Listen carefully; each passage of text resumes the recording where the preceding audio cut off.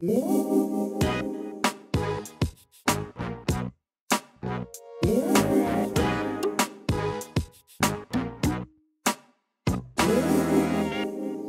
this is Food Offensive Weekly News for April 29th, 2013. And if you've been following these weekly uh, news updates and, and, videos, then you will know that I've covered a lot on uh, GMO news. And of course, that's at the forefront of this uh, food battle we are partaking in. And this week, uh, along with that, I'm going to actually cover a couple of different topics that are hot this week in the news and concerning food freedom and uh, our food supply in general.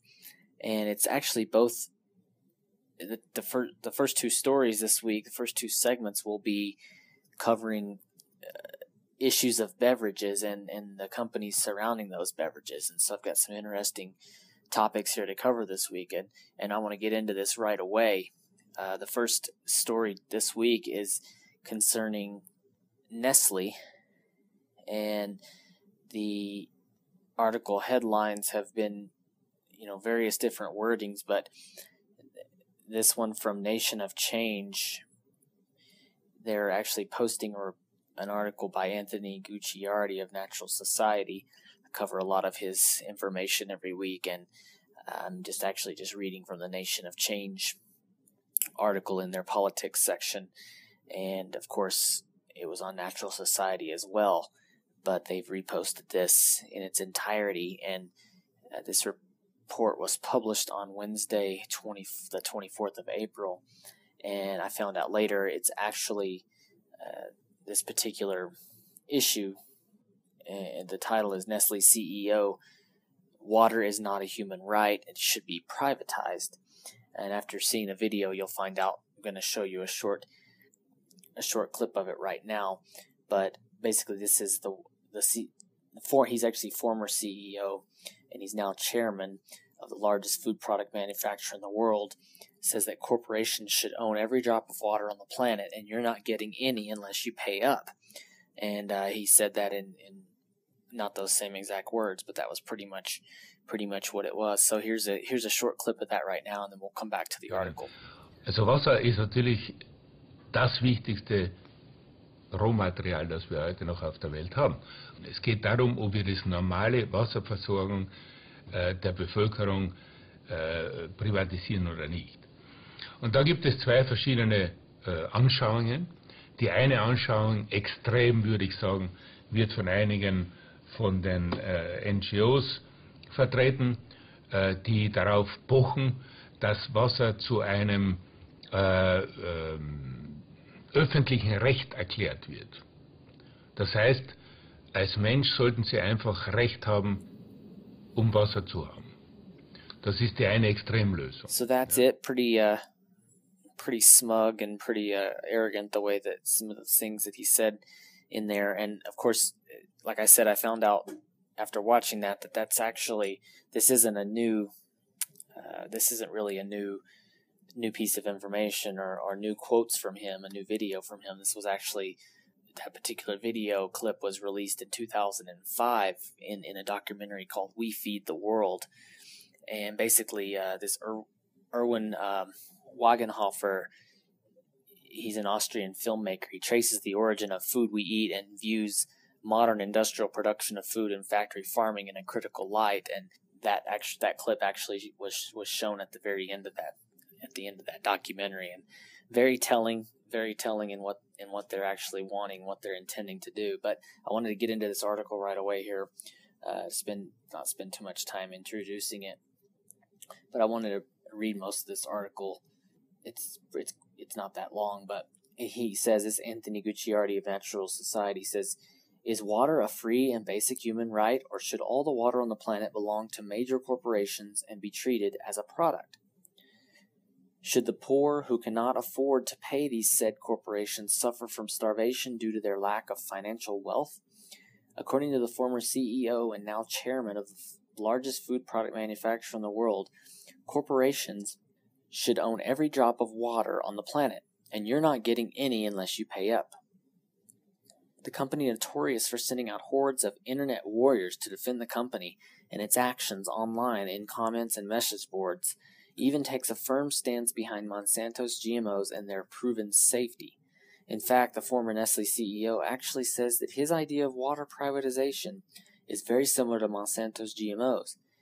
In a video interview, Nestle chairman Peter Brabeck states that there has been there's never been one illness ever caused from the consumption of GMOs. And uh, if you see that that video clip, he'll say that here he's saying there in Europe people are are scared to have it, and, and yet here in America we haven't seen one one illness. Well, yeah, what about what about the all the tests that have come out and the, the sicknesses we are we are experiencing today? Is that not a correlation of those things? It says the way in which this sociopath clearly has zero regard for the human race outside of his own wealth and the development of Nestle, who has been caught funding attacks against GMO labeling, can be witnessed when watching and listening to his talk on the issue. This is a company that actually goes into struggling rural areas and extracts the groundwater for their bottled water products, completely destroying the water supply of the area without any compensation. In fact, they actually make rural areas in the United States foot the bill. And I would say also, if you've seen the documentary Tapped, it uh, pretty much gives all the details on the bottled water industry and, and exactly what uh, Anthony Gucciardi just stated about them going into these small areas and draining the water supply. You know, big trucks driving through the semi trucks driving through these small towns and the, you know just terrorizing the the residents pretty much. But it says, as reported on by Corporate Watch, Nestle and former CEO Peter Brabeck have a long history of re- disregarding public health and abusing the environment to take part in the profit of an astounding $35 billion in annual profit from water bottle sales alone. And then it talks about a report that Nestle's production of mineral water involves the abuse of vulnerable water sources. and talks about a particular instance in a region of Brazil where they have uh, resulted in depletion and long term damage of that area of the water supply. Going on, it says Nestle has also come under fire over the assertion that they are actually conducting business with massive slavery rings. And there's another corporate watch uh, entry from 2000 or in 2001 talking about the cocoa production families, destitute parents selling their kids to be sold as slaves to work on the cocoa farms. And, you know, Nestle makes the chocolates and things like that too. So that's their ties to that as well. Whether they set out to do that or not, it's, it really doesn't matter because the fact is that it's happening and they allowed it to happen. He ends by saying, So is water a human right or should big corporations own it? Well, if water is not here for all of us, then perhaps major corporations should own air as well. And as for crops, Monsanto is already working hard to make sure their monopoly on our staple products, uh, staple crops, and beyond is well situated. It should really come as no surprise that this Nestle chairman fights to keep Monsanto's GMOs alive and well in the food supply, as his ideology lines right up with that of Monsanto. Yeah, I mean he, I guarantee this guy doesn't doesn't eat genetically modified food, and if he does, he obviously doesn't understand the repercussions of that. But it, then again, he's in Europe where they've banned most of the of the GM products, so of course he doesn't eat them, and he wouldn't if he had the chance to. So as far as that goes, that's that's the main information for this story, and you know he Anthony Gucciardi refers to you know what keeps them from owning the air. Well, probably working towards doing that at some point, but you know that's a lot of the comments if you read these articles a lot of the comments people are making are about you know what's next the air. And eh, I rem- i'm reminded of that cartoon released a couple years ago the lorax. And uh, they talk about you know there's a guy on there that he is you know evil you know entrepreneur guy that that just just sells canned air basically to everybody. And, and actually just recently a billionaire in china has canned air and sold it to people because it's so polluted there that uh, you know obviously that's a need that someone has, but I think that with the the stance that this CEO or former CEO and chairman is taking is is the stance of many of these people where they really want not just not just to make the money off of it, but you know, in the in the video, it's it's almost like he's bragging about you know these 4.5 million people depend on Nestle for a job. It's almost like he loves the control. It's really sick when you when you watch it, it you know the whole thing. You know, Anthony Gucciardi, like I said, this is the actual article here from Natural Society, and some links in there and and things you can follow concerning that. But that's the, that's the actual article that, that people are reposting and, and referring to. And uh, I will also end with some points from the Natural News article on this. He says Nestle CEO seeks to control the world's water supply. And uh, Lance Devon is writing this for naturalnews.com. And he says gun control may be a hot topic, but what about water control? And he talks about the recent comments that have have uh, surfaced from the former CEO. He wants water controlled, privatized, and delegated in a way that sustains the planet. You know, that's the other thing. And and this guy, you know, you can say you can say on one hand, well, maybe he means well in the fact that he's trying to provide a sustainable water source and help control it in a good way.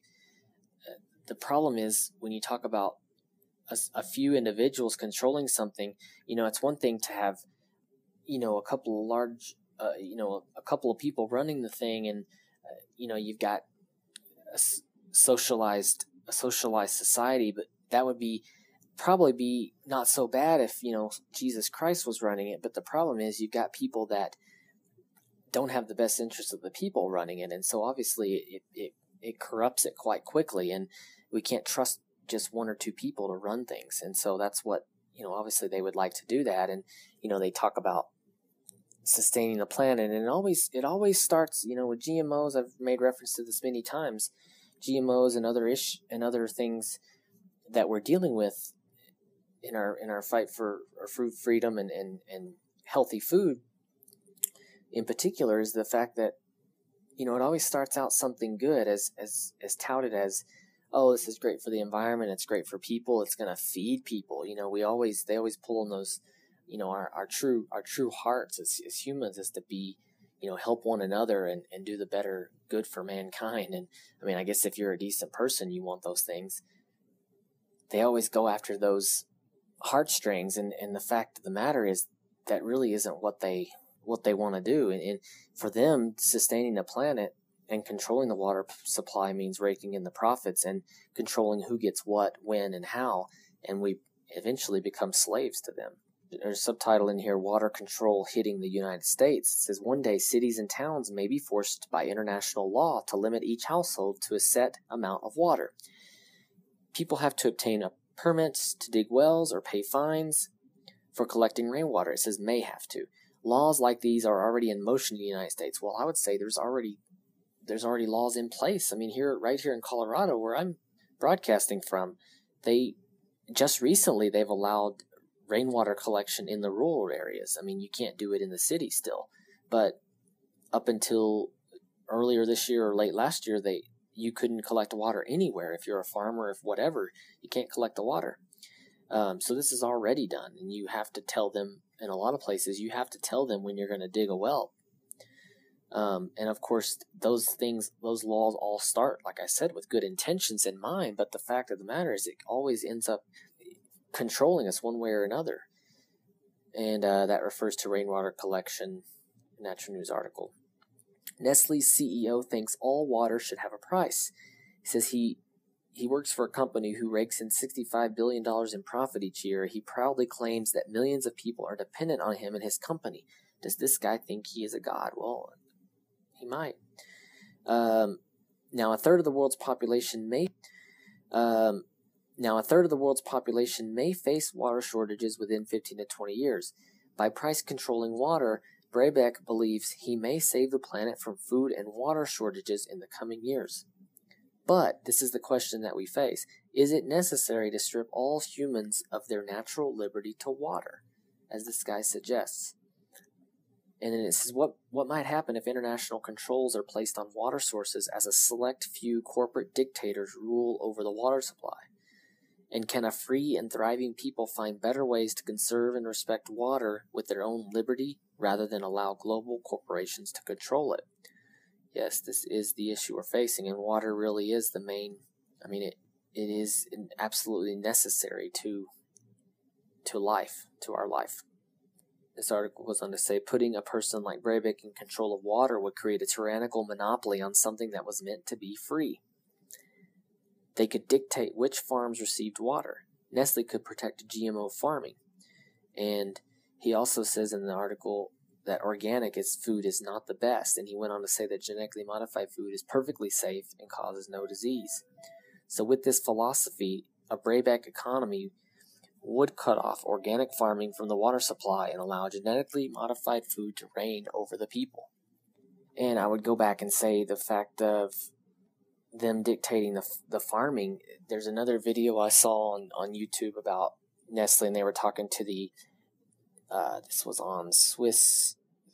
It was a Swiss info channel on YouTube, but I'll I'll have the link to the video if I can find it again. But they had the communications director of Nestle there, and he was they were interviewing him, and he was blaming basically he was blaming farming for depleting most of the water in countries like Pakistan, where they sell, you know, where Nestle has a thriving bottled water industry.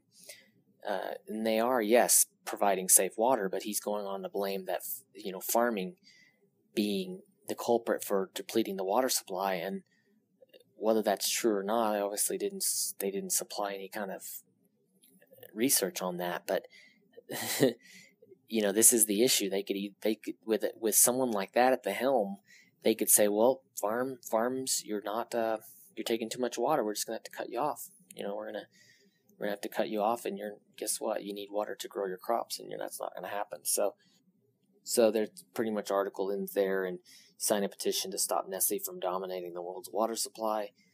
And it, it's really an action alert in a sense because of of uh, of the, the the action that we can take on it. And another article from from Market Watch uh, referring to it and taking some quotes from from the video, so on and so forth, is is right here on screen. I'm not going to read through it, but there's another source for this article as well. And the title is Nestle CEO warns water scarcity is a major threat to the food industry. And it is. Water is absolutely vital and it's absolutely necessary. But I'm not going to allow one, con- one company to control the whole source of it. And so, like I said, the, this week would really be covering a lot of issues concerning the beverage uh, spectrum of our of our food supply and our, our intake of of these products and what's safe and what's not. Well, this next topic I want to cover this week was concerning some articles about an article from Market Watch titled 10 Things Coke, Pepsi, and the Soda Industry Won't Say. And you can read that article from, from Market Watch. Lots of uh, statistics and things concerning the different, the top soda manufacturers, but really through through that through an article like that, I found this big one that I really want to go over, and it's basically talking about soda soda philanthropy, and it's it's from a report that was uh, published by the Center for Science in the Public Interest, and that's it was it was actually released this year, 2013. So this is an actual new and and in the you know on the front of the front lines of what's going on here, and they they title this report "Selfish Giving: How the Soda Industry Uses Philanthropy to Sweeten Its Profits." And I want to go over a few things in the summary, but down in this down further in the report, uh, basically kind of sums up what it is. And it says this report examines how an industry under attack has used philanthropy to buy silence, enhance its credibility, and nurture allies especially among groups whose interests do not intrinsically align with those of soda marketers, such as health and minority focused advocacy groups. Yeah, exactly. I covered uh, several times in the last few weeks about the uh, Academy of Nutrition and Dietetics having Coke as one of their vendors at continuing education and, and conference type settings. You know, that's a a little bit of a conflict of interest there. But uh, it also says that this report highlights how the soda industry uses philanthropy to advance its corporate agenda and deflect calls for government programs or laws aimed at reducing soda consumption. Now, like I said, I wanted to go through some of the the executive summary and, and so and so on, but a couple of things. It points out several things that the soda companies use using philanthropy in their in actually their own interests, and it says uh, they link their brands to health and wellness rather than illness and obesity, and they create partnerships with respected health and minority groups to win allies, silence potential critics, and influence public health policy decisions. And I wrote in my notes the A and D. I mean, that's a perfect example of of of what they call innocence by association. Here it says, though the industry's financial support enables their groups to pursue their worthy causes, it ultimately serves to link soda company brands to an image of health and wellness rather than health problems. Talks about exploiting uh, minority groups to advance their policy objectives, philanthro marketing, and it just really talks about in the introduction about how sugar drinks being once an occasional treat, they have recently moved into the public health radar screen as a significant contributor to obesity. Carbonated soft drinks alone have netted more than $38 billion in revenue in, in 2011.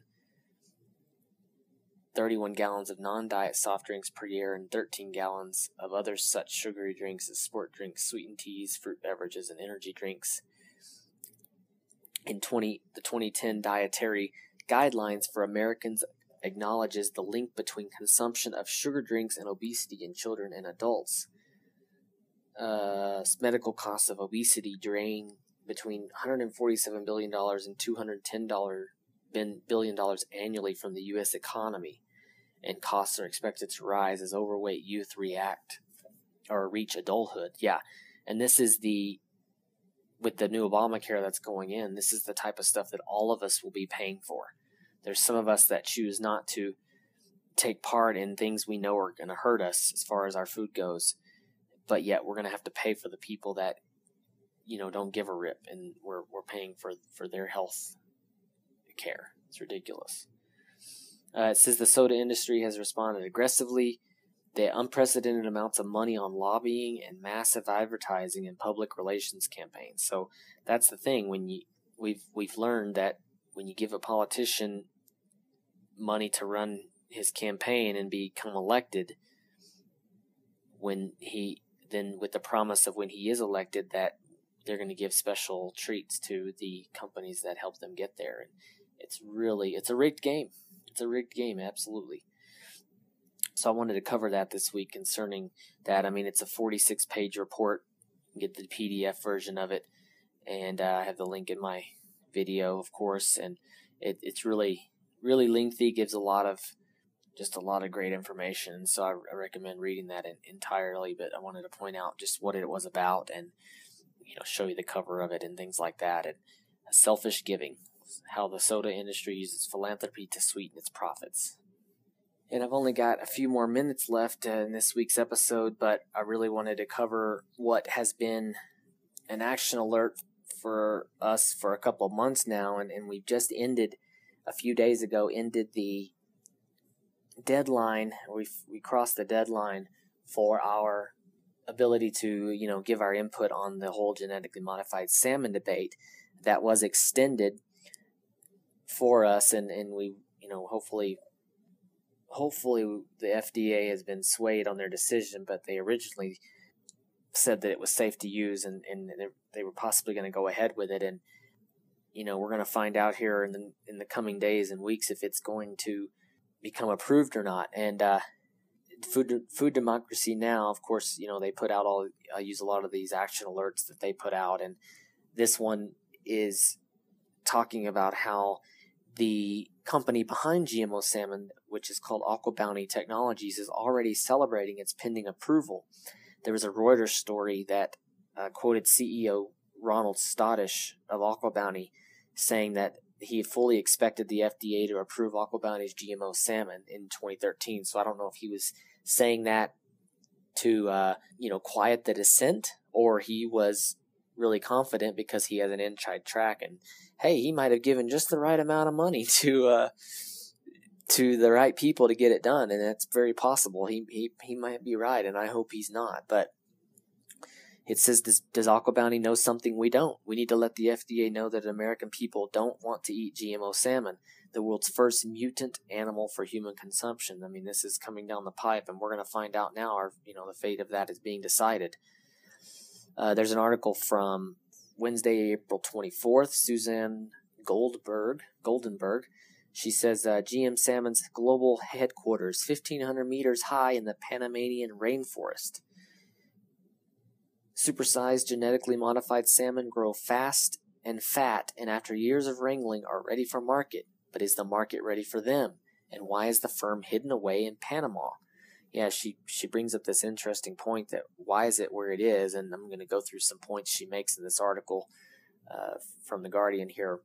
It is hard to think of a more unlikely setting for genetically experimentation or for raising salmon a rundown shed at a secretive location in the Panamanian rainforest, miles inland and 1,500 meters above sea level. And talks about how we are in the U.S. government is entering into the final stages of its deliberations on whether to allow this genetically modified salmon to uh, come into production. Uh, it says uh, separately, a committee in Congress on Monday took up a bill that would outlaw GM salmon entirely, essentially destroying Aqua Bounty's commercial prospects in America. If approved, the salmon could be the first of some 30 other species of GM fish under development, including tilapia and trout.